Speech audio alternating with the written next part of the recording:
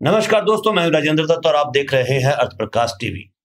दोस्तों, हरियाणा में विधानसभा चुनाव के बाद जिलों को बढ़ाने की मांग बढ़ती जा रही है। कहीं ना कहीं जो राजनीतिक लोग हैं, वो भी ज़िले बढ़ाने की बात कर रहे हैं। पिछले दिनों राव नरवीर, जो उद्योग एवं वाणिज्य मंत्री हैं हरियाणा में, उन्होंने कहा कि परिसीमन के बाद ही जो है जिलों की संख्या बढ़ाई जाएगी। इस पर चर्चा करने के लिए मेरे साथ हैं सतीश मेहरा जी, जो हरियाणा की राजनीति के बहुत अच्छे जानकार हैं।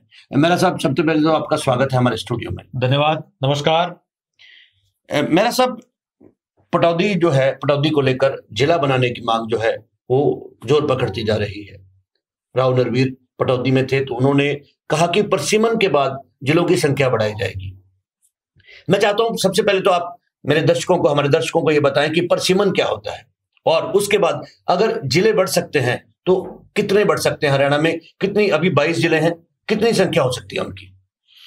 देखिए राजेंद्र जी बहुत महत्वपूर्ण विषय पर आपने आज चर्चा शुरू की है और एक मुझे लगता है कहीं ना कहीं ज्वलंत एक मुद्दा भी है ये। जी। आ, तो राजनीतिक लोग हैं या हरियाणा की आम जनता है वो हरियाणा में जिलों की संख्या बढ़ाने की बात कर रही है। तो ऐसे में जो हरियाणा के मंत्री का जो बयान आया वो बहुत एक इम्पोर्टेंस रखता है कि अपने आप में कि इस मुद्दे को उन्होंने कहीं ना कहीं ज्वलंत रखा है आगे बढ़ाया बढ़ाया है। तो हरियाणा में अगर इस समय बात करें तो हरियाणा में नब्बे विधानसभा क्षेत्र है जी। और दस लोकसभा क्षेत्र है। जी। और इन जो पहले परिसीमन हरियाणा में किया गया था 2002 में मुझे लगता है किया गया था और 2004 का जो चुनाव हुआ था हरियाणा में वो परिसीमन के तहत हुआ था। जी। हालाँकि उस समय जो लोकसभा के जो क्षेत्र है, उनकी संख्या नहीं बढ़ाई गई थी। ना ही विधानसभा क्षेत्र की संख्या बढ़ाई गई थी। लेकिन, विधानसभा और लोकसभा के क्षेत्रों में कुछ अदला बदली की गई थी। और अब जो नया परिसीमन आ रहा है 2026 में जो पूरे देश में एक परिसीमन होगा, उसमें हरियाणा में भी होगा तो इसमें लगता है कि, इसमें विधानसभा की सीटें भी हरियाणा में बढ़ेंगी और लोकसभा की सीटें भी हरियाणा में बढ़ेगी। और ज़िले भी बढ़ सकते हैं। और निश्चित रूप से ज़िले उसके बाद परिसीमन के बाद जिलों की संख्या पर बढ़ाने का विचार किया जा रहा है। जैसे आज या कल ही इनका जो हरियाणा के उद्योग एवं वाणिज्य मंत्री हैं राव नरवीर सिंह उनका बयान आया है। उनसे लगता है कि कहीं की परिसीमन 2026 के बाद हरियाणा में कुछ और ज़िले बढ़ाए जा सकते हैं। जी। तो विधानसभा क्षेत्रों की अगर बात करें तो वर्तमान में नब्बे विधानसभा क्षेत्र हैं। और जो आबादी के हिसाब से देखिए देखा जाए तो अब जो नया परिसीमन आएगा उसमें 126 विधानसभा क्षेत्र हरियाणा में हो सकते हैं। अच्छा नब्बे से 126 नब्बे से 126 विधानसभा क्षेत्र हो सकते हैं। और इसी प्रकार से लोकसभा क्षेत्रों की अगर बात करें तो फ़िलहाल जो वर्तमान में है दस लोकसभा क्षेत्र हरियाणा में है। और 10 एक जनसंख्या के हिसाब से अगर बात की जाए तो चौदह जो है लोकसभा क्षेत्र हरियाणा में हो सकते हैं। हरियाणा वैसे तो एक छोटा सा प्रदेश है। हरियाणा का जो क्षेत्रफल की अगर हम बात करें तो चौवालीस हज़ार दो सौ बारह वर्ग किलोमीटर हरियाणा का कुल क्षेत्रफल है। हम्म। आ, लेकिन जनसंख्या काफ़ी है। जो एनसीआर का क्षेत्र है दिल्ली के आसपास का जो राष्ट्रीय राजधानी के आसपास का क्षेत्र जो जिस प्रकार से डेवलप हुआ है चाहे गुड़गांव की बात करें सोनीपत की बात करें चाहे फरीदाबाद की बात करें तो उनमें काफ़ी जनसंख्या की बढ़ोतरी हुई है। और उस बढ़ोतरी को देखते हुए ये सुनिश्चित ये माना जा सकता है कि निश्चित रूप से विधानसभा क्षेत्र भी बढ़ेंगे और लोकसभा क्षेत्र भी बढ़ेंगे। तो हरियाणा की अब जो जनसंख्या है की हम बात करते हैं तो पौने तीन करोड़ के आसपास मुझे लगता है के आसपास हरियाणा की जनसंख्या है और 2026 तक तीन करोड़ के आसपास जनसंख्या होने का अनुमान है। तीन करोड़ के आसपास और आज की जो जनसंख्या के आंकड़े दे रहे हैं वो विभिन्न स्रोतों से लिए गए हैं। 2021 में जो जन जनगणना होनी थी, वो जनगणना नहीं हो पाई। विभिन्न स्रोतों से जो जानकारी जुटाई है, वो लगभग लगभग पौने तीन करोड़ के आसपास एक आंकड़ा बाहर सामने आ रहा है कि जनसंख्या इतनी हो इतनी हो सकती। है तो अभी अगर मतदाताओं की अगर बात करें तो जो अभी पीछे चुनाव हुए हैं जो उनमें मतदाताओं की संख्या एक करोड़ नवासी लाख मतदाता हरियाणा में थे। और इसके साथ साथ जो ही जनसंख्या बढ़ेगी निश्चित रूप से मतदाता की संख्या भी बढ़ेगी। 2026 तक मतदाताओं की संख्या और 10 लाख 10 11 लाख और बढ़ सकती है। इस प्रकार से दो करोड़ के आसपास मुझे लगता है वोटर हो सकते वोटर हो सकते हैं। और परिसीमन की अगर हम बात करें तो परिसीमन परिसीमन का एक चुनाव आयोग द्वारा जो एक आधार तय किया जाता है उसमें टोटल जो स्टेट की जो जनसंख्या है और जितने उसमें विधानसभा क्षेत्र बढ़ाए जाने उनके हिसाब से डिवाइड करके एवरेज कितना आता है एक मोटा मोटा आंकड़ा ये लिख लिया जाता है कि अगर हमारी जनसंख्या तीन करोड़ होगी तो तीन करोड़ को 124 से हम डिवाइड करेंगे तो जितना भी आएगा उस हिसाब से पर विधानसभा क्षेत्र में एक वो जनसंख्या जनसंख्या उस विधानसभा क्षेत्र में तय की जाएगी। और इसी प्रकार से लोकसभा क्षेत्र में भी।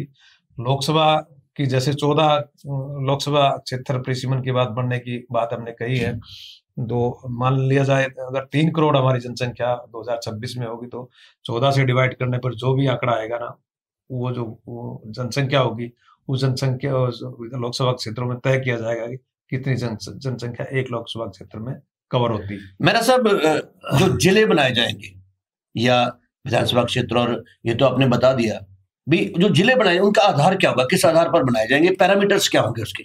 देखिए जैसे हमने बात की है एक छोटा सा छोटा प्रदेश है हमारा जी जी जी। लेकिन अगर जनसंख्या घनत्व की अगर बात करें तो जनसंख्या घनत्व लगातार बढ़ता जा रहा है। जी। एनसीआर में आबादी का घनत्व ज़्यादा बड़ा है और इस घनत्व को देखते हुए पूरे स्टेट की जो आबादी है वो निरंतर बढ़ रही है।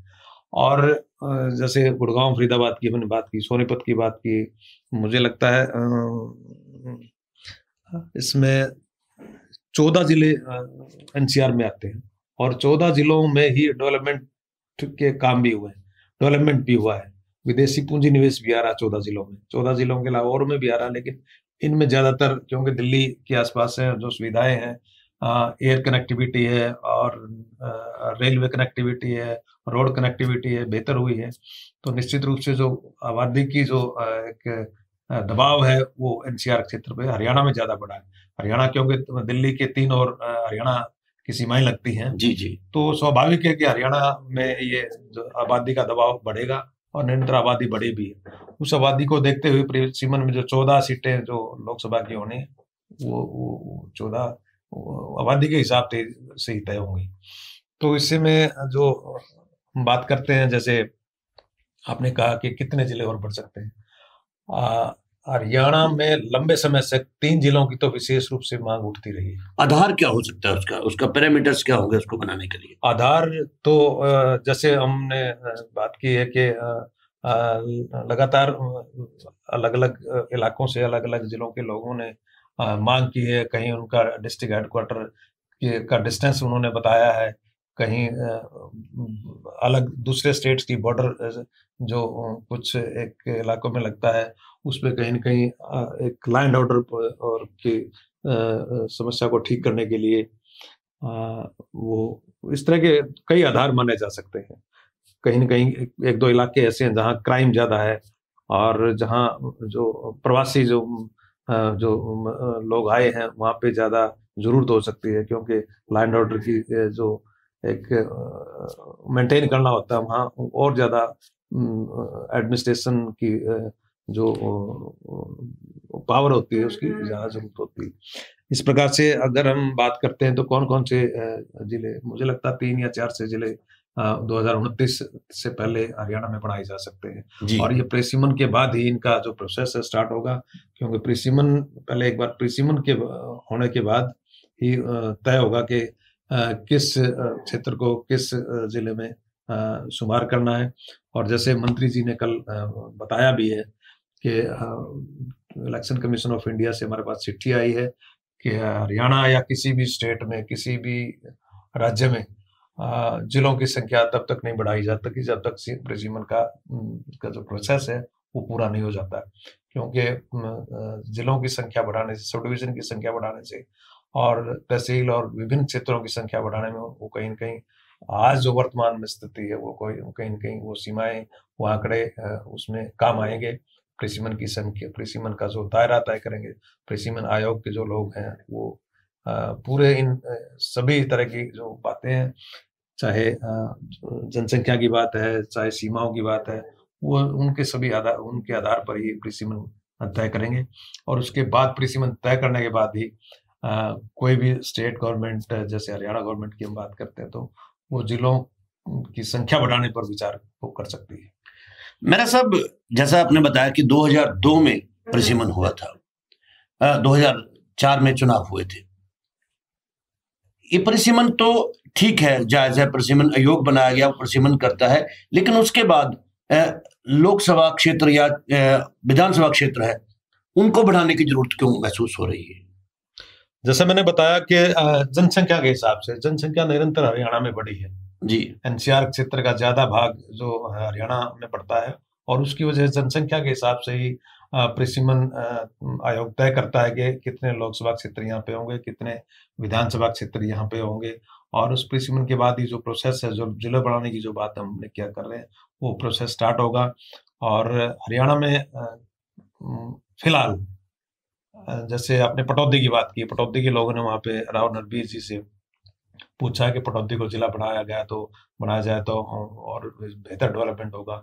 पटौदी के साथ साथ इसमें और जो इस पटौदी से भी पहले जो मांग आ रही है वो डबवाली से आ रही है। डबवाली के लोगों की मांग आ रही है और गुहाना के लोगों की मांग आ रही है और हँसी के लोगों की मांग आ रही है। इनमें से हँसी और डबवाली को तो पहले ही पुलिस जिला बना दिया गया है। हम्म। उनमें सुप्रिंटेंडेंट ऑफ़ पुलिस की का पद है वो कर बना दिया हँसी और डबवाली हँसी और डबवाली में एसपी बैठने शुरू हो गए हैं। पुलिस जिनको पुलिस जिला कहा जा सकता है। लेकिन उन लोगों की लगातार ये मांग रही है कि कहीं कहीं इनको एक जो पूर्ण रूप से पूर्ण रूप से स्टेशन के हिसाब से जो पूर्ण रूप से जिला का दर्जा दिया जाए।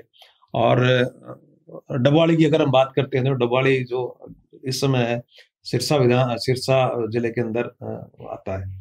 और सिरसा हरियाणा में एक ऐसा जिला जो क्षेत्रफल के हिसाब से सबसे बड़ा जिला हरियाणा का सिरसा जिला है। और सिरसा और जो डबाली का जो डिस्टेंस है जो दूरी है वो मुझे लगता है साठ पैंसठ किलोमीटर की दूरी है और ऐसे में उन लोगों की मांग जायज़ भी हो सकती है कि उनका जो एक जिला हेडक्वार्टर से आजकल जो दूरी है वो वो सबसे ज़्यादा है और इस वजह से वहाँ पे एक और डबवाली जिला बनाने का कारण एक और हो सकता है हम्म। डबवाली की सीमाएँ डबवाली जो शहर है उसकी सीमाएँ दो स्टेट तो से और लगती है लगती है। जैसे पंजाब से और राजस्थान से राजस्थान से लगती है। आ, अगर डबवाली शहर की अगर बात करें करें तो तो किसी एक गली है जैसे शहर में एक गली के दूसरी ओर पंजाब पड़ता है और गली के इस साइड में जो घर है हरियाणा। डबवाली क्षेत्र की हम बात करें तो डबवाली जो सब डिविजन है उसमें चोटाला गाँव भी आता है। और चौटाला गाँव इस प्रकार से एक सिरसा डिस्ट्रिक्ट का लास्ट गाँव हम कह सकते हैं और जो। राजस्थान की तरफ़ है राजस्थान की सीमा पर चौटाला गाँव है।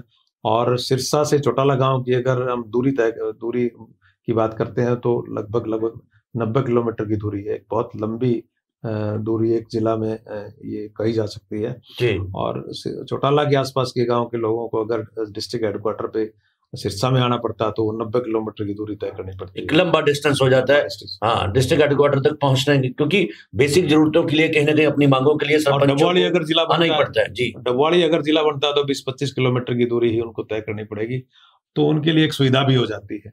और इस प्रकार से जो दो जो हम हमने बात की दो स्टेट की जो सीमा लगती है डबाली में और कहीं कहीं जो नशा की तस्करी है सिक्योरिटी पॉइंट ऑफ़ व्यू से भी मज़बूत हो जाएगा। पॉइंट ऑफ़ व्यू से लैंड ऑर्डर भी मज़बूत होगा और अब जो नशा की तस्करी उस में बढ़ रही है नशे का चलन युवाओं में बढ़ रहा है वो ये भी एक कारण हो सकता है कि कहीं कहीं जो दो स्टेट की जो सीमा लगती है वहाँ पर और वहाँ से जो स्मगलिंग नशे की होती है उसको कहीं कहीं एक उस पर काबू पाने में एक एडमिनिस्ट्रेशन को एक और तरह की दूसरी तरह का एक फंक्शनरी और सिस्टम उनका मिल जाएगा। मिल जाएगा और ये मुझे लगता है नशे की समस्या पर भी काबू पाया जा सके जी। और कहीं के डबवाली के लोगों की मांग जायज़ कह सकते हैं। इसके बाद हांसी की बात करते हैं। हांसी में भी जिला पुलिस जिला बनाया हुआ है। हांसी में भी सुप्रिंटेंडेंट ऑफ़ पुलिस बैठते हैं। और हांसी हालाँकि हिसार से जो डिस्टेंस हांसी का वो ज़्यादा इतना ज़्यादा नहीं है। बीस किलोमीटर के आसपास बीस पच्चीस किलोमीटर के आसपास का जो डिस्टेंस है दूरी है वो है। हाँ लेकिन हांसी अपने आप में एक बड़ा एक अच्छा कस्बा क्या सिटी शहर बन चुका है। जी। और हांसी का जो एरिया ग्रामीण क्षेत्र है काफ़ी बड़े बड़े गाँव उसमें आते हैं। और इसकी वजह से एडमिनिस्ट्रेशन की पूरी उसमें लैंड ऑर्डर बनाए रखने में पूरे हिसार जिला में हांसी को मुझे लगता है कहीं कहीं जिला बनाया जा सकता है। और इसके बाद हम गोहाना की बात करते हैं। गोहाना सोनीपत और जींद के बीच में है। जींद से भी चालीस पैंतालीस किलोमीटर पड़ता है और सोनीपत से भी चालीस पैंतालीस किलोमीटर दूर पड़ता है। जी। उधर रोहतक से भी लगभग लगभग रोहतक और पानीपत से भी इनका एक सेम सा डिस्टेंस है। तो गोहाना के लोगों का भी पॉलिटिकल मांग भी वहाँ से आती रही है चाहे आपके जो जो एमएलए विधायक बने हैं उनकी तरफ़ से या पहले भी गोहाना को जिला बनाने की जो मांग है लगातार आती रही मुझे लगता है तीन जो ज़िले हैं दो हज़ार उनतीस से पहले हरियाणा सरकार मुझे तीन इन जिलों को बना सकती है। और चौथे ज़िले की अगर हम बात करते करते हैं तो भारतीय जनता पार्टी ने जो चुनाव से पहले अपना जो संकल्प पत्र जो जारी किया था उसमें एक कुंडली मानेसर पलवल हाईवे पर जो के है उस पर पाँच शहर डेवलप करने का एक उन्होंने हाँ, पाँच उद्योग क्षेत्र। लोगों से वायदा किया था जी। और पाँच उद्योग क्षेत्र वहाँ पे बनाए जाने हैं। और के की जो लंबाई की अगर बात करते हैं सोनीपत कुंडली बॉर्डर से और परवल तक 135 किलोमीटर की लंबाई है। तो 135 किलोमीटर की बहुत लंबी चौड़ी लंबी हाँ बहुत बड़ा डिस्टेंस हो जाता है। डिस्टेंस कहा जा सकता है। जी। लेकिन गुड़गावा तक कुंडली बॉर्डर से और गुड़गावा तक की जो सोनीपत से और गुड़गावा तक की लंबाई वो थोड़ा कम हो जाती है। और जो शहर नए डेवलप होने हैं वो उसी हाईवे पे जो के एम भी होने हैं।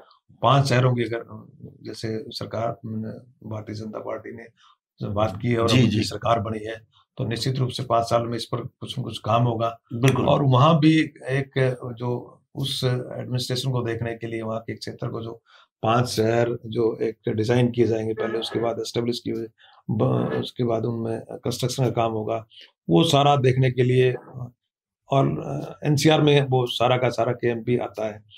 तो उसमें भी कहीं कहीं मुझे लगता है कि कहीं कहीं सरकार एक ज़िले की घोषणा वहाँ पे एक डिप्टी कमिश्नर सहित पूरे पूरा जिला प्रशासन और जो पुलिस प्रशासन है उनको कहीं कहीं नियुक्त कर सकती है और उसको जिला भी हाँ, ताकि उसको ढंग से प्रॉपरली उसको स्टेब्लिश किया जा सके। किया जा सके और उस पर काम किया जा सके। जी। और वैसे भी वहाँ पे लाइन रोड को मेंटेन करने के लिए कानून व्यवस्था और अधिक बनाए अच्छी बनाए रखने के लिए एनसीआर क्षेत्र में आता है। हाँ एनसीआर की अगर बात करें तो एनसीआर में वैसे भी कानून व्यवस्था पे बहुत ज़ोर देना पड़ता है। गवर्नमेंट जो। फंक्शनरी है उसकी काफ़ी ज़रूरत पड़ेगी। जी जी मुझे लगता है वहाँ भी एक डिस्ट्रिक्ट हेडक्वार्टर का की स्थापना की जा सकती की जा सकती है। इस प्रकार से हम कह सकते हैं तीन से चार ज़िले हरियाणा में दो हज़ार उनतीस से पहले बढ़ाए जा सकते हैं।